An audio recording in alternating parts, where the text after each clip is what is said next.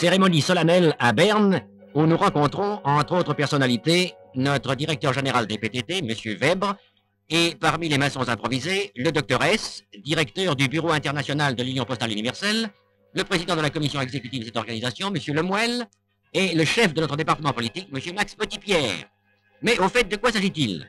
Du nouveau siège du Bureau international de l'Union postale universelle, une des rares organisations internationales qui fonctionne réellement au service du public mondial.